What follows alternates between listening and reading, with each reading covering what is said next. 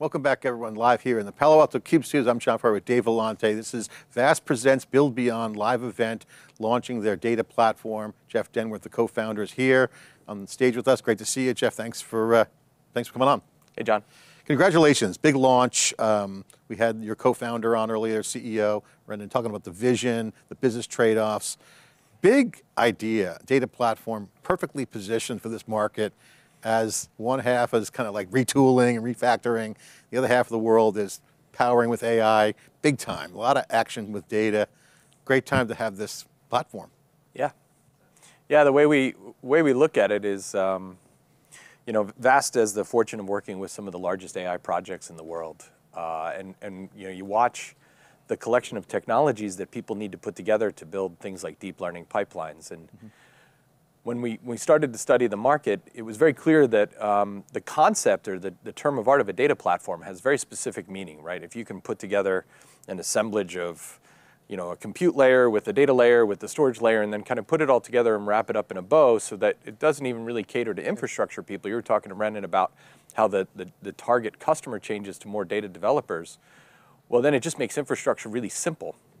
But we realized there was a huge gap for as people moved away from like business reporting systems and data warehousing to actual deep learning. There's just there's nothing in the space. So so we're here to make it much simpler than it's been in the past. Your keynote, you unpacked everything in the keynote. Video is awesome.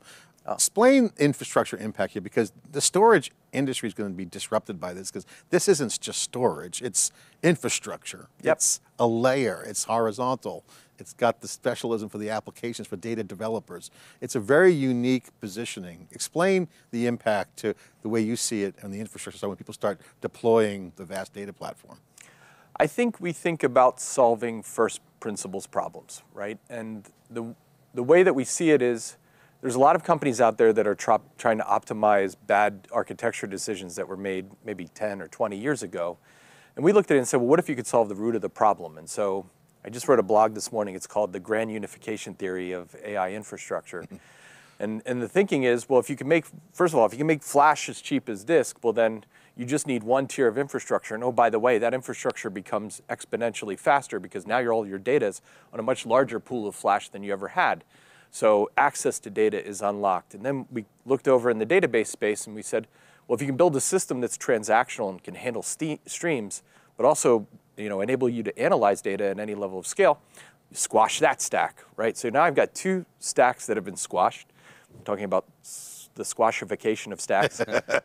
and then you take the next, you take the next step and you say, okay, why do you have to have a system that's independent database services and unstructured data services? Put those together. And so that almost goes back to like um, projects that Microsoft was working on years and years and years ago where they tried to build an unstructured database. Okay, well now I've got this one data system in my environment. Let's squash all the data, data centers together, you know, both edge and cloud and on-prem data centers.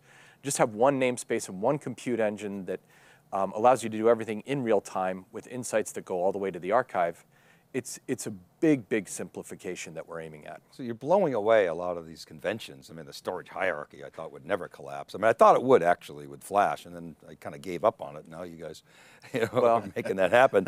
um, maybe it comes back with genomic storage or something. yeah, right, crazier. right, sure. But so this, this notion of, of DASE, disaggregated, shared everything architecture. So yep.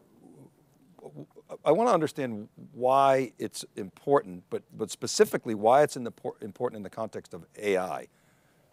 Yeah, so um, if you think about what's come before us, uh, pretty much every distributed system was built from uh, a concept of data partitioning, right? Google laid the foundation for this idea 20 years ago when they invented the Google file system and they said, okay, let's build large clusters of commodity servers and just build partitions out of all your nodes, right? And so that gave birth to the whole file system industry, the whole object storage industry, the whole NoSQL database industry, the whole data lake industry, the whole hyperconverged. It, like the, the impact of that paper that Google wrote is probably, uh, you know, at least hundreds of billions, if not trillions of dollars.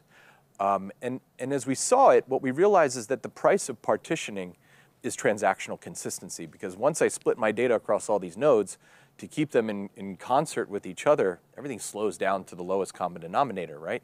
That same, that same idea is also true for distributed web scale storage across multiple data centers. But if you can just build cores that all are stateless, that all have the same access to a global volume of SSDs as one big volume, well, then you can basically take like a von Neumann style architecture and abstract it all the way up to a, a, like a web scale data center scale. And so now you don't have machines that have to talk to each other in order to interact with the data store. And that not only works really well for things like deep learning, where you're doing things like distributed uh, checkpoint operations across all of your data, which requires a lot of parallel writes, or distributed read operations, where you're kind of reading in a common input directory um, that may have locks required on it. Like all that stuff happens inside storage and slows everything down. And we said, let's get it away by building something that's just truly parallel. And it pays dividends not just for the file layer, but as we step up to the database layer, you've solved fundamental database scaling problems that have been around for decades by going to this disaggregated shared everything approach. So you're right. I mean, it's like a caravan where everything has to slow down for the slowest truck. Sure. Right. Okay. So that's what hap- what's happening with, with partitioning. But so, but then, how do you deal with? I, mean, I think you got this just this locking is at the edge or wherever. Yep. Right. Okay. So that is the point. The single point of control is whoever has the lock. Is that right? And so th- there's an idea of an, a data owner, and that's uh, that's somebody that takes you know just claim of ownership of that data, but ownership isn't authoritative, right? And so anybody that's in the network can say, I want to own that data for some period of time, or, or loan that from you. And in this case, what happens is uh, the lock manager then just gets pushed out to the edges of the network where the transactions are actually happening. Now that really doesn't make sense if it's just like one big clunky service that has to move from data center to data center. But if you can bring it all the way down to the smallest data element, which is like either a file or an object or a table, then you can have all of these different sites operating on all different parts of the namespace, and very rarely will they actually conflict with each other or, or overlap with each other. But when they do, there's consistency management to ensure that it's strictly consistent. And okay, and so how do you carry through that strictly strict consistency like when something goes wrong and you've got to recover? Sure. So there's, um, there, there's, there's two layers to the vast data space. The first layer is access, right? And so we want to be able to provide any site around the world with access to your data at any given time. And then we do things like buffering and prefetch and caching in order to make sure that that's fast. But availability is an entirely independent topic. So I could have thousands of sites that all access the same data, but if I want to go and actually ensure that I can fail over across data centers, then replication schemes are, are at a layer underneath the availability layer. Does that make sense? Or I should say the access layer. Does that make sense? Yeah. Yeah. yeah. So, um, so customers can, you know, have N-to-one replication schemes, one-to-N, uh, whatever they want to do, and that is totally independent from their access policies, where they can just see their data and transact to their data anywhere. And they have the flexibility to determine how to deploy that? Sure, sure. It's yeah. all, all based on policy. Mm-hmm. Um, you'll now start to be able to deploy this into cloud environments as well. We're walking before we run. So we'll start with relatively small cache nodes to start. And then you'll be able to build large stretch clusters by the end of the year in different public cloud platforms. And you know, customers really shouldn't think about or care about where their data is upon access. They should only, you know, admins should think about where it is in terms of availability policies and, uh, and the system accommodates for both. It's just policy based. And you guys will support whatever those environments are. Obviously, multiple clouds. We saw that on there. Well, whatever is a gratuitous term, but uh, you know, AWS, Google, and Azure to start. Mm-hmm. Um, we've been partnering with all of them to kind of build like uh, towards their best practices architectures. Um, we'll add more as customers need. Edge, on-premise, all that's all there. Edge is already here, so we have a few partners here. HPE is obviously a great partner. We, we did a lot of work with uh, their GreenLake for Files launch. We work with another company called Mercury Computer. Actually, they're Boston-based. You probably know them. Yeah, I saw them on your slide. I'm like, I know yeah. so Mercury is, is crazy. Like they're, they're building ruggedized systems that go into right. um, you know battlefield deployments or you know you know peacekeeping missions and things like this, and uh, you know at some point it'll go into space. We're not there yet. But yeah. Jeff, you've been around the industry for a long time. You've seen the storage, you've seen the server, networking, the classic yeah, infrastructure business. You guys have this platform is resonating. The AI wave's perfect for you right now. With seeing that in some of the training models you had mentioned. What do some of the skeptics say when, obviously the big customers, Pixar, those guys are at scale, so you probably walk right in, they get it right away. Yep. What are some of the customers that, that might you roll in, like, well we, well, we have the other guys, storage stuff, and what are some of the skeptics saying, and then what do you say to them, and what, and what happens next? Well, I think, I think there's, there's two layers to it. At the storage layer, If you think about the biggest systems that people are building for deep learning, you know, large NVIDIA SuperPod style systems, um, everybody's kind of fought against standards in this space forever because the conception was that NAS wasn't ready for this level of scale. Now, you know, topics like NFS are, are kind of villainized in this story because historic implementations of NAS systems always had that partitioning and scaling problem that I talked about earlier. What people didn't realize is if you solve the architecture problem, then you can use NAS for pretty much anything. And so we kind of turn the conversation around and say, well, if your enterprise systems are now ready for, for superpod levels of, of supercomputing performance, well, then you can bring AI to your data as opposed to having to bring data to your, your AI. And that, that actually is a pretty transformative um, kind of thing that's happening in the market. Uh, and what we're about to do over the next four weeks is basically announce a string of pearls uh, customer announcements that you know you will know are the people that are buying not just like a few dozen GPUs, but thousands to tens of thousands of them to, to train on infrastructure. So the storage layer was always like, can I use enterprise infrastructure for that? The answer is yes. Now the second consideration is as you move to this mode where you're refining structure from unstructured data, um, the data engine comes into play. And to the point that you guys were making earlier, that's a developer discussion. Mm. And this is a huge step up that we need to make. So we need to build an entire developer relationship, relationship community. And uh, you know, if Renen's still listening, the, the marketing budget will have to, to grow by about 4x but, uh, but yeah, we're ready for it. I mean, he talked a lot about the business side trade-offs, architectural trades. You mentioned architecture. That's something that we're seeing a lot of now with the next gen cloud. We talk about all the time. Super cloud, super apps are here. AI is a big influence of the developer community. I mean, I think there's like 172 projects in open source right now working on this kind of projects. How do you talk to that data developer from an architecture standpoint? And also the solution architect who's, who's saying, okay, I'm redoing DevOps, I got security, shift left. Yep. Now data is now going to have to be rethought through, but at the architectural level from an ops standpoint, yet enabling the developer. Well, I think the, the separation between application and storage, whether you're talking about unstructured data or, or database infrastructure, has always been an encumbrance to people that, that ultimately want to try to solve that first principles problem, which is, you know, I need pipelines, pipelines that, um, that are easy to program and easy to deploy. And so our thinking is, you know, data has a ton of gravity as we all talk about, but if you can essentially attach code to your data, then you have like a more declarative environment that you can work with that takes the complexity of all that those different stack components out of the equation. And so that's a long-winded way of saying um, we think that there's something simpler here by the synthesis of data and code, uh, and we need to work a lot over the next couple years to convince the market. Well, again, you're blowing it away. I mean, we've seen efforts to sort of optimize the data pipeline. If I can get 10% faster or 20%, you know, take 20% of the cost out of the pipeline, sure. that, well, that, that's, that's lucrative for my customers, but it's, you're rethinking that whole thing, uh, um, that, that whole concept. And like you said, you're squashing that stack. Yeah. Operationalizing yeah. basically the, the, the data portion of my business, which has never been done before. I, I once had a meeting with an enterprise customer that said, unless you can talk in terms of 10x gains, you have no business being in the room. And so we try to kind of build all products with that, that thinking in mind. Mm. Um, and just on the topic of, you know, just uh, operational efficiency, if you think about, well, what if I could solve for anti-gravity? And what if I could move data to wherever available processor resources are in, in you know, my, my kind of a state of not only the data centers that I'm managing, but also just the elastic resources that you have in the cloud what we realized by talking to a few of the largest cloud vendors is that like if you can just move data to wherever available processors are, you're talking about like massive, massive savings that can come into play. Not only just on like the infrastructure side, but also on energy. Like you've got all these idle machines just sitting around, and if you can move the data in them, get them working, it's a big, big power. Because you're paying for these underutilized resources, right? Hundred percent. So, so, I want to ask you. We joke sometimes that AI was invented last November when you know when ChatGPT came out. So when I was listening to you this morning, I, I, I wrote down a question, and I want to make sure I get it right.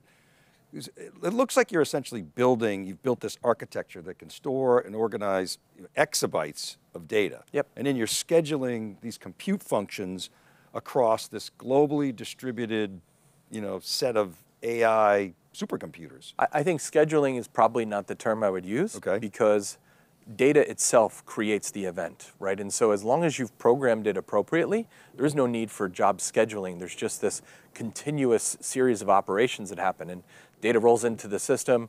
We realize, okay, it needs to be cataloged, it needs to be inferred upon.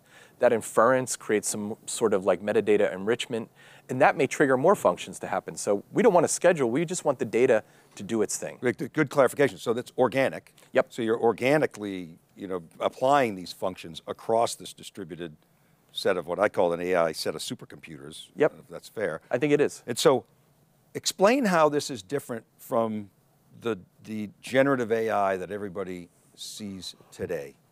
Oh, well, you know, we, we don't we don't develop language models. We just build the infrastructure Right. for people to build models on.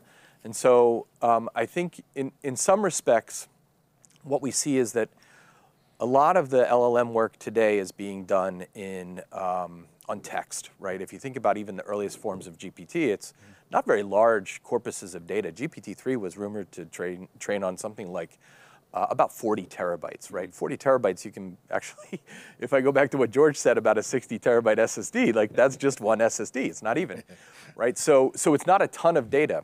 Um, and, and so what you get from that is a system that is, you know, not necessarily understanding what the physics are and, and can't reason about what's happening around the world. They're just kind of reciting back what they've learned. Um, and so, so our, our, our observation is we're starting to see some people think about deploying not just like, you know, exabyte scale infrastructure, but a few tens or a few hundreds of exabytes. And if you want to like represent the natural world to an AI engine, just show it everything. Show it everything and, and train it not only on um, all observations, but also all learnings that have come from those observations. Uh, and, and here I, I think we don't have an, a word for this, but, but actually a few weeks ago, the DeepMind team announced a new sorting algorithm that was, was discovered by the, the Google AI effort, right? And- the, the AI itself discovered this new kind of algorithmic approach. And that's the glimmer of something to come that we think we want to enable even more so that these machines can solve grand challenges. In terms of the generative AI piece, you mentioned earlier you're training models for folks. You're providing the infrastructure for people to train models. What are you seeing there for performance? Uh, the bankers call that picks and shovels, by the way. Yeah, so I mean, this everyone's doing it right now. You see a lot, lot of, a lot of people storing their data um, for legal reasons, for compliance reasons. We were talking before you came on camera about some of the legal aspects of Yep. where AI is coming in. So, got to explain that. You got GDPR issues. We saw that on the video. Oh, you know, sure, sure, sure. So, um, so what's happening is that you've got all these foundational models that are coming out, and people are then looking to to refine them and tune them and parameterize them towards their business, right? If I, you know, take ChatGPT and I'm, you know, like Exxon or Shell or something like that, it's not going to help me go find oil. But if I can take these basic, you know, linguistics and understanding tools and then apply them against the corpus of data that these organizations are sitting on, you can start to get more enriched answers back. And so what we see is that there's this gold rush right now for people that are building the foundations. And then um, the enterprises are now waking up and saying, okay, now that we have that base tool, we need to go apply some really interesting stuff within our environments. That could be on-prem or in cloud uh, to, to, to build something that's suitable for our businesses. And so, um, so we think this gold rush will continue on for some time. All right. Well, great stuff to have you Just here. starting. Great, great to have Yeah, you that's, on. that's right. Great to have you on. Real quick, final question. Data lakes have been all the rage. Data platforms now are taking, seems to be taking the data lake concept and kind of bringing it to life. You guys talk about that. How do people rationalize the difference between like data lake, the data platform? How would you uh, articulate the, the differences? Because a lot of the enterprise has been riding on that data data lake wave for a while. Actually, the announcement we're going to make next week, it's a very, very large uh, AI environment. They call it an AI lake, which I thought was an interesting term. but a data lake's just a component, right? So if I use kind of Hadoop as a, as a point of reference, I think that was popularized. Actually, the first cube I was on was at Strata here. you know, um, data lakes uh, have a connotation of just being this unstructured place that you put your data that ultimately then needs to go refined through some other process, and you get it to a point where it looks like a data warehouse, and you know, other companies come in and say, okay, well, that's a that's a lake house, right? But there's still an added component, which is what's the execution engine? What's the computing engine that sits on top of this? And that's the, I think, the big distinction between what a data platform is and all of these lakes and lake houses is you need both to come together. You know, you just want a programming environment that customers can go and, and refine their data with. Jeff, thanks for coming on Build Beyond. Congratulations on your on your launch. A lot of years, a lot of great customers. Thanks for coming on the Cube. Thanks, John. Appreciate Thanks, it. Dave. See ya. Okay, we'll be right back with more Build Beyond here in the Palo Alto Studios. I'm John Furrier Dave Vellante. Stay with us. We'll be right back with NVIDIA up next.